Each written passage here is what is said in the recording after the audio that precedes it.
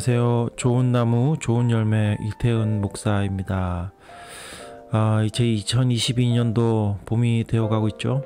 아, 지난 주말에 개업 예배 참석하려고 여기서 어, 한 남쪽으로 차로 한 3시간 정도 내려가서 어, 하룻밤 지내고 어, 개업 예배 참석하고 또 이렇게 올라왔는데 다시 어, 기온이 뭐 아직은 뭐 완전히 따뜻하다라고 할 수는 없겠지만 그래도 이제 봄꽃이 막 피려고 하는 것을 보았습니다. 이제 봄이 다가오고 있는 것이죠.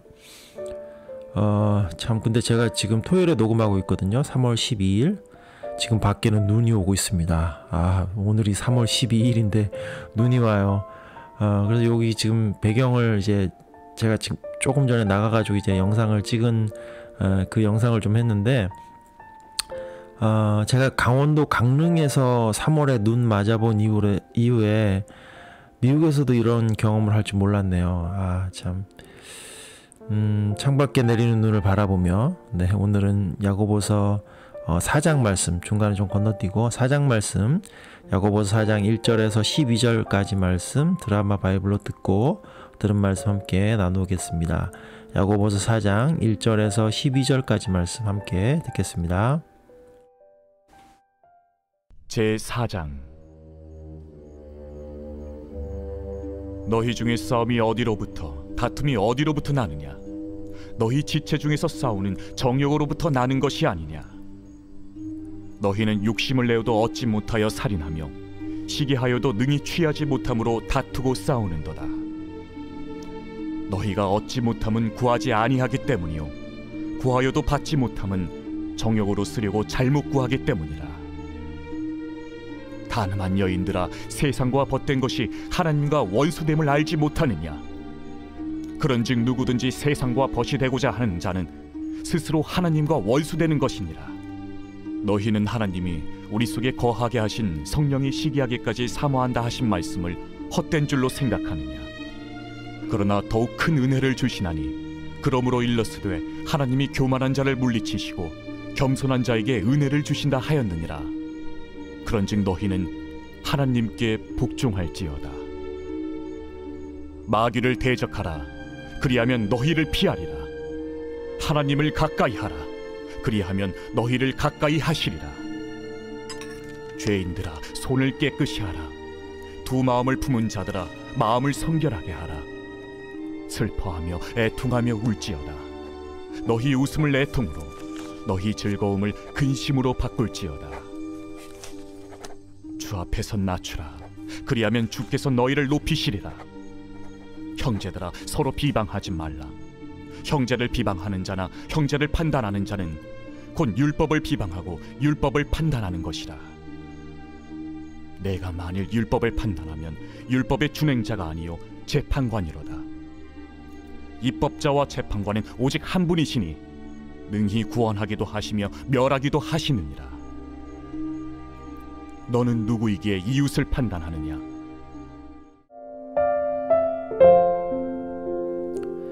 네, 말씀 잘 들으셨죠? 어, 지난번에 야고보서에 대해서 잠깐 말씀을 드렸는데 좀 시간이 지나서 다시 한번 짧게 좀 말씀드리면 어, 야고보서는 예수님의 동생인 야고보가 아, 초대교회 여러 곳에 흩어진 초대교회 성도들을 향해서 보낸 서신서입니다. 어, 사도 야고보는 예수님이 이 땅에 계실 때는 어, 가족이죠. 가족인 예수님을 믿지 못했지만 예수님이 부활 승천하신 후에는 어, 성령 충만함을 받고 이후에는 초대교회의 중요한 지도자 중의 하나로 성장했습니다. 어, 특히 예루살렘 교회의 지도자이자 목회자로 알려져 있는데 어, 지금도 물론 그렇지만 유대인들에게는 이 예루살렘이 아주 중요한 의미가 되는 곳이거든요. 그래서 이 사도 야고보가 장시 초대교회 내에서 어, 특히 유대교를 배경으로 하는 그리스도인들에게는 어, 상당한 영향력이 있는 지도자였을 것으로 생각을 합니다. 특히 야고보서 1장 1절부터 보시면 야고보서 이 야고보서 이 서신서를 받는 사람들을 어, 흩어져 있는 열두 지파라고 말씀하고 있는데 어, 이것을 문자적으로 이제 열, 이스라엘의 열두 지파를 의미하는 것으로 봐서 어, 유대교를 배경으로 하는 그리스도인들에게 이 편지를 보냈다라고 하기도 하지만 어, 당시 신약 시대에는 이미 이 이스라엘의 열두 지파가 아, 그 구분이 거의 없어진 상황이거든요. 아, 그래서 예, 예수님을 믿고 어, 거듭난 이 새로운 영적인 어, 열두 지파를 의미한다라고 해석을 하기도 합니다. 또 야고보서의 내용이 어, 유대교를 배경으로 한 성도들에게만 해당된다고 보기에는 또 어려운 부분들이 좀 많이 있거든요. 어, 그래서 이렇게 해석하기도 하는데 저는 이 두 번째 해석에 더 동의를 합니다. 교회는 처음 생길 때부터 참 다양한 성도들로 이루어져 왔죠. 어, 크게 유대교를 배경으로 한 성도, 뭐 헬라 문화를 배경으로 한 성도라고 이렇게 에, 구분하기도 하지만 좀 더 자세히 들여다보면 성별이나 나이나 인종이나 문화 어, 여러 가지 다양한 배경의 성도들이 초대교회 때부터 있어 왔습니다. 뭐 지금도 마찬가지죠. 오늘날에도 그 보면 한 교회 안에 정말 다양한 배경과 성품을 가진 성도들이 있습니다. 어떻게 보면 그렇기 때문에 참 어, 복잡하고 변화무쌍한 곳이 교회인데 이렇게 다양함이 예수님을 믿는 그 믿음 아래에서 하나가 되어서 이 교회를 이루게 되는 것이죠. 그런데 야고보서가 좀 더 집중하는 것은 성도들의 배경이 아닙니다. 성도들의 다양함이 아니라 오히려 그런 다양한 배경에도 불구하고 어, 믿음을 가지고 한 믿음 아래에서 한 교회를 이루었는데 그 안에 있는 성도들에게도 다양한 믿음의 깊이가 있다는 것에 보다 큰 초점을 맞추고 있습니다. 그러니까 다양한 배경의 성도들이 한 교회 안에 있는데 어, 믿음도 획일적이지 않다는 것이죠. 그러면서 어떤 믿음이 참된 믿음인지 어떤 경건이 참된 경건인지를 우리에게 말씀하십니다. 다양한 성도들이 이룬 교회 공동체가 하나님 앞에서 가져야 하는 바른 믿음의 행실은 어떤 것인지 오늘 말씀 속에서 발견하시기를 바랍니다. 먼저 1절 말씀 제가 읽겠습니다. 야고보서 4장 1절 말씀이에요. 너희 중에 싸움이 어디로부터 다툼이 어디로부터 나느냐 너희 지체 중에서 싸우는 정욕으로부터 나는 것이 아니냐 1절에서 성경은 성도들 간의 다툼에 관해서 말씀을 하고 있습니다. 하나님이 만드신 아름다운 성도들의 공동체인 교회는 정말 그 안에서 서로 화목하고 서로 사랑하고 배려하고 격려하는 곳이어야 할 것 같은데 서로 사랑하는 곳이어야 할 것 같은데 정말 음, 이상하게도 실제적으로는 교회 안에서 크고 작은 다툼이 끊이지가 않죠. 작은 행동 하나 때문에 다투기도 하고 말 한마디 때문에 마음이 상해서 다투기도 하는 것이 어, 현실이죠. 네. 그런데 참 어, 흥미로운 것은 뭐 이게 흥미로워할 것인지는 잘 모르겠는데 어, 교회가 처음 생겼을 때부터 교회 안에는 다툼이 있어 왔다는 것을 발견합니다. 야고보서를 기록한 예수님의 동생 사도 야고보는 예루살렘의 예루살렘 교회의 지도자였지만 비교적 이른 시기에 순교했다고 알려져 있습니다. 그래서 신약 성경을 기록한 순서를 이렇게 추정해 볼 때 야고보서는 거의 항상 가장 초기에 기록된 성경 중에 하나로 간주됩니다. 어, 그래서 이 야고보서에서 벌써 이렇게 교회 안에서의 다툼에 대해서 언급하고 있다는 것은 정말 교회가 거의 처음 생길 때부터 교회 안에서 다 갈등과 다툼이 있어 왔다는 것을 어, 간접적으로 의미하기도 하는 것이죠.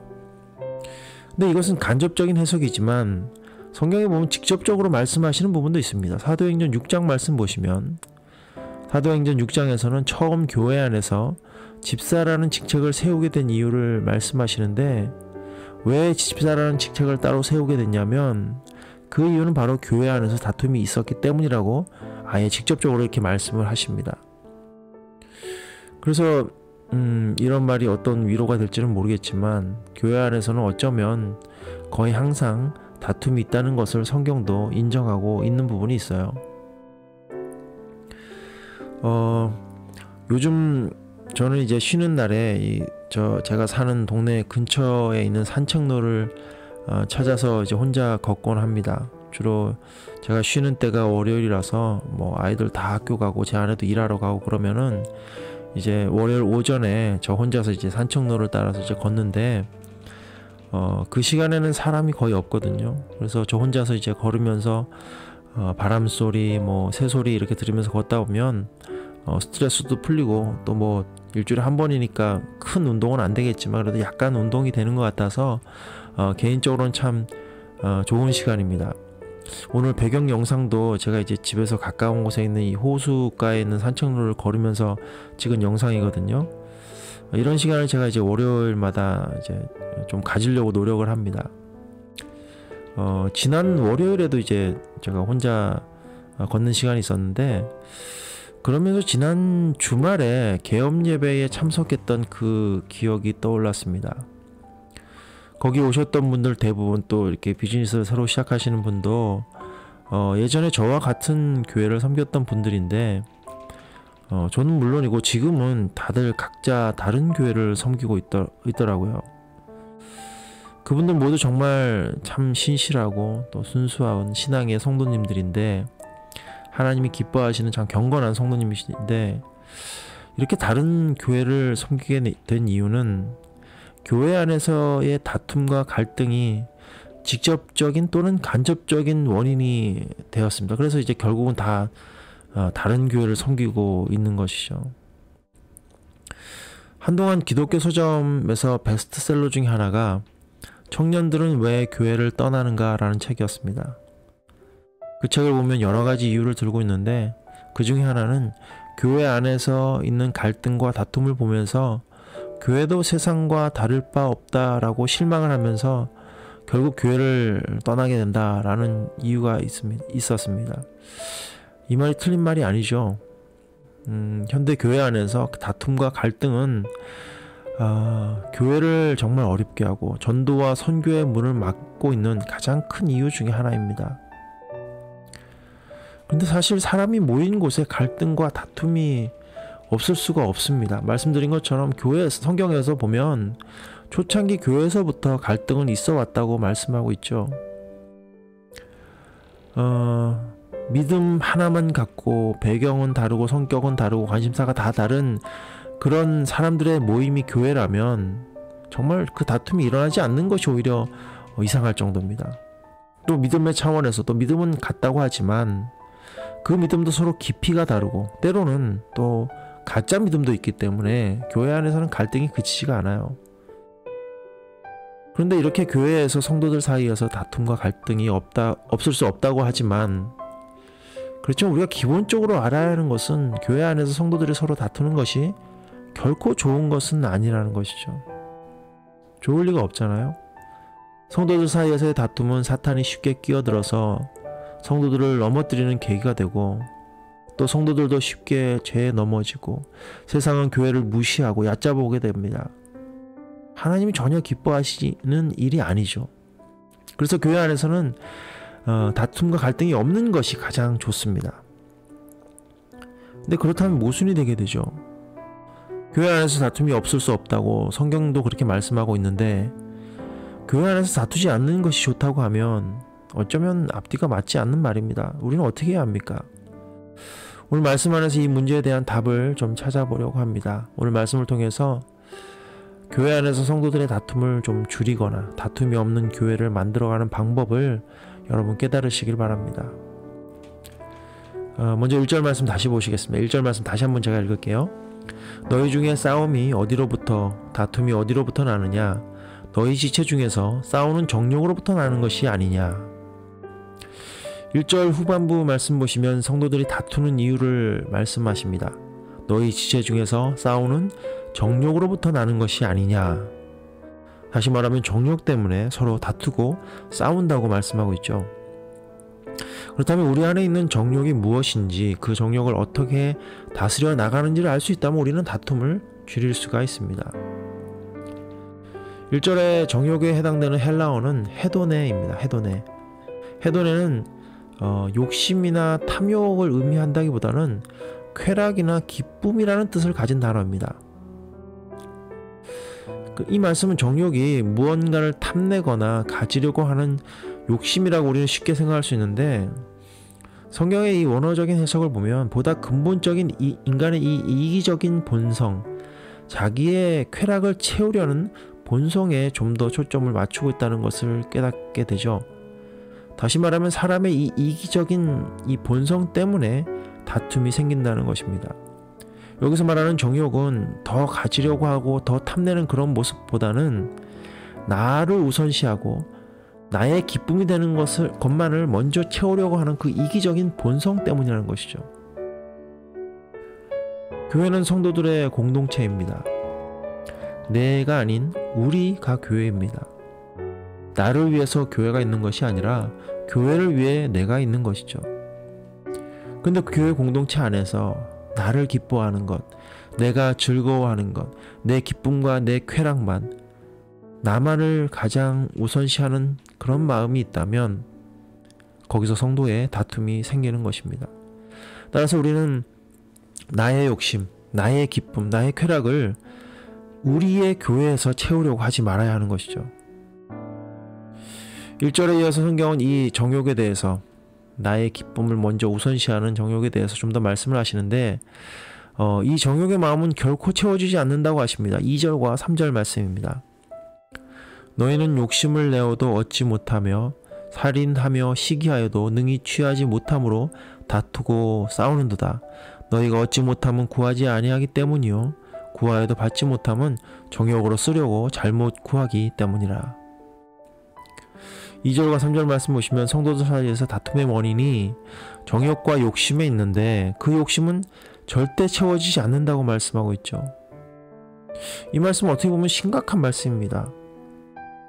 왜냐하면 성도들의 다툼의 원인을 알았습니다. 정욕과 욕심이구나, 이기적인 마음이구나 알았는데 그 원인은 결코 해결될 수 없는 문제라고 하기 때문입니다. 사람의 욕심 절대로 채워지지 않죠. 최초의 인간인 아담과 하와가 어떻게 죄에 빠지게 되는지 여러분 잘 아시죠? 먹지 말라고 했던 그 선악과를 보면서 사탄의 유혹이 물론 있긴 했지만 하나님의 명령보다 자신의 욕심이 자신의 이기심이 더 커졌기 때문에 하나님 말씀에 불순종함으로 죄에 빠지게 된 것입니다. 오늘 우리도 크게 다르지 않습니다. 우리도 여전히 절대로 채워지지 않을 나의 욕심을 채우려고 하면서 살고 있기 때문에 또한 하나님의 자녀라고 해도 아직 온전히 성화되지 않은 인간들이 교회를 이루기 때문에 교회 안에서 다툼이 그치지 않는 것입니다. 그럼 우리는 교회 안에서의 다툼을 음, 그냥 인정하면서 아 이것은 인간의 본성에서 나온 것이기 때문에 이건 그냥 받아들여야 하는구나 이렇게 포기하면서 이 땅에서 그 이대로 그냥 다투면서 교회 생활을 해야 하는 것일까요? 그렇지 않습니다. 오늘 본문 말씀에서는 이 교회 안에서의 다툼을 없애는 또는 줄이는 하나님이 기뻐하시는 교회를 이루는 방법 세 가지를 말씀하고 있습니다. 오늘 본문 말씀에 있는데 먼저 8절 말씀입니다. 8절 말씀 제가 읽겠습니다. 하나님을 가까이 하라 그리하면 너희를 가까이 하시리라 죄인들아 손을 깨끗이 하라 두 마음을 품은 자들아 마음을 성결케 하라 첫 번째 비결은 하나님을 가까이 하는 것입니다. 사람을 가까이 하지 말고 사탄도 가까이 하지 말고 심지어 내 자신마저도 가까이 하지 말고 오직 하나님만 바라보고 하나님께만 더욱 가까이 가는 것입니다. 다툼은 사람과 사람 사이에서 서로 욕심을 주장하기 때문에 있는 것이죠. 이기적이기 때문에 있는 것입니다. 따라서 모든 사람들이 하나님을 본다면 하나님을 가까이 한다면 다툼이 없게 되는 것이죠. 근데 이 말씀은 아예 인간관계를 떠나라는 말씀은 아닙니다. 우리가 혼자 사는 것이 아니니까 당연히 다른 사람을 가까이 할 수밖에 없죠. 이 말씀은 우선순위에 관한 말씀입니다. 사람을 버리라는 것이 아니라 하나님을 가까이 하고 사람을 가까이 하라는 것입니다. 8절의 말씀에 두 마음을 품지 말라고 하고 있죠. 그 두 마음은 무엇입니까? 하나는 이기적인 마음이고 하나는 하나님을 가까이 하고 싶은 마음입니다. 두 마음을 품지 말라는 것은 하나님을 나중에 놓고 하나님을 가까이 하는 것은 나중에 하고 먼저 나 자신의 이기심을 먼저 채우는 것 그렇게 살지 말라는 것이죠. 하나, 사람을 버리라는 것이 아니라 하나님을 가까이 하고 사람을 가까이 하고 하나님께 시선을 고정히 하고 나서 사람에게 시선을 돌리라는 말씀입니다. 교회 안에서 다른 성도들은 내 기쁨을 위해서 희생하는 대상이 아닙니다. 다른 성도들은 사랑의 대상이고 섬김의 대상이고 나눔의 대상입니다. 언제나 하나님을 가까이 하심으로 하나님이 기뻐하시는 길, 나누고 섬기고 또 사랑하는 그 길을 통해서 갈등과 다툼을 이겨내시기를 바랍니다. 두 번째 비결은 구절에 있습니다. 구절 말씀 제가 읽겠습니다.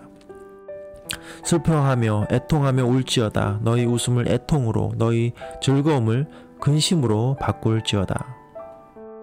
이 말씀은 이제 8절 후반부에 있는 이제 죄인들아라고 나오는데 그 두 마음을 품은 자들 그들에게 주시는 말씀입니다. 다툼으로 인해서 어, 상처 주고 죄 지은 성도 다툼을 일으킨 성도들 그들에게 주시는 말씀입니다.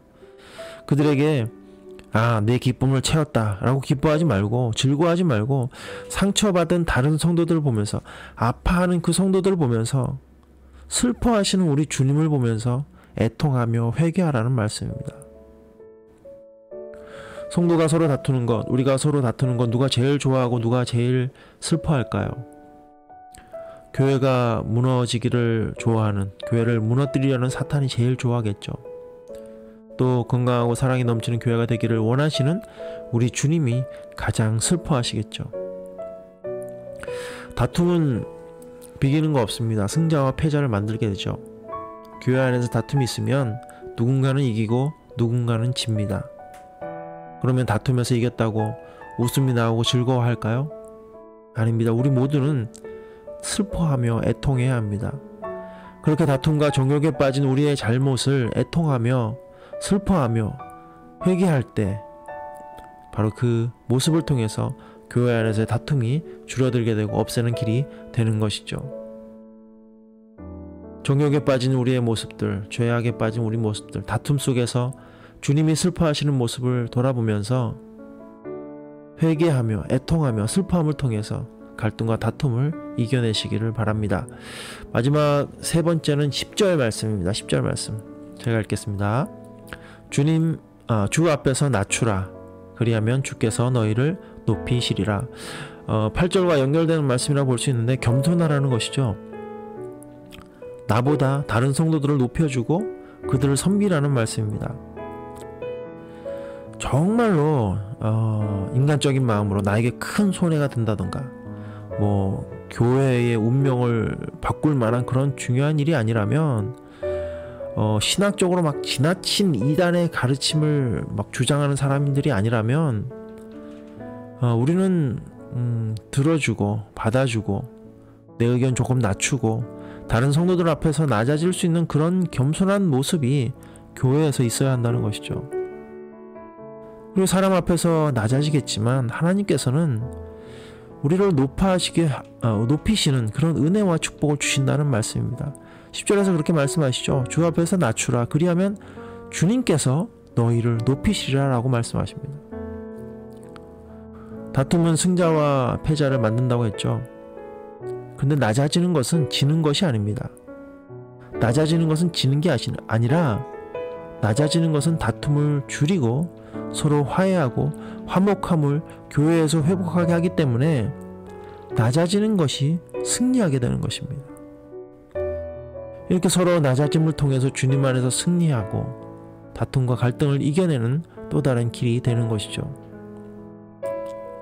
나 자신의 내 자신의 주장, 내 자신의 생각들 그런 것들이 정말로 나에게 큰 손해가 된다던가 뭐 신학적으로 아주 말도 안 되는 그런 생각이라던가 뭐 법적으로 아주 어, 중범죄가 아니라면 성도들 앞에서 낮아지고 그들의 모습을 받아줄 수 있는 그런 겸손한 모습들이 있을 때 교회 안에서 갈등과 다툼을 이겨낼 수 있다는 것입니다.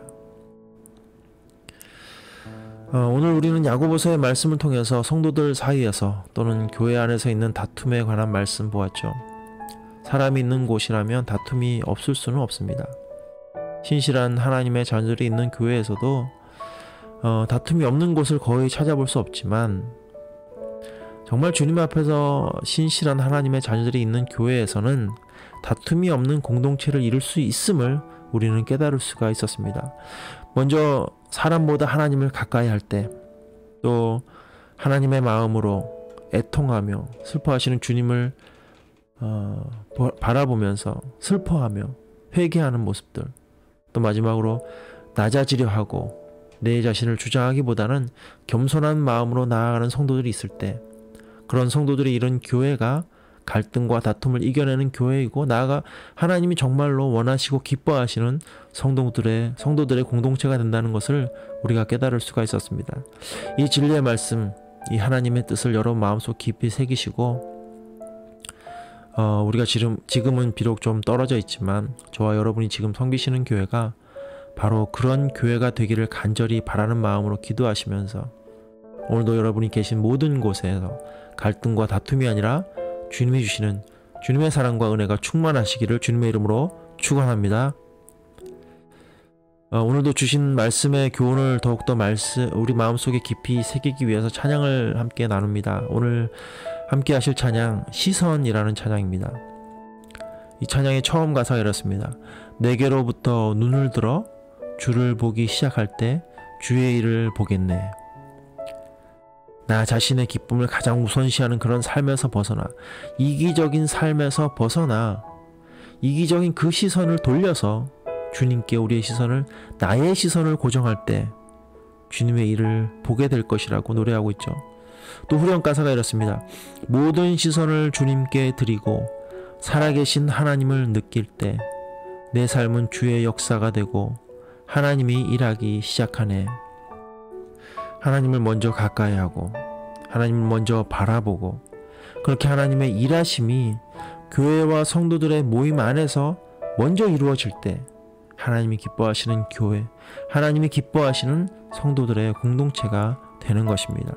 오늘 주신 말씀 마음에 잘 새기시고 저는 또 다음에 귀한 말씀 가지고 어, 여러분 다시 뵙겠습니다. 오늘 여기까지입니다. 다음에 또 어, 기쁜 모습으로 다음엔 눈이 안 오겠죠. 다음에 또 어, 기쁘고 즐거운 모습으로 행복한 모습으로 다시 뵙겠습니다. 안녕히 계세요.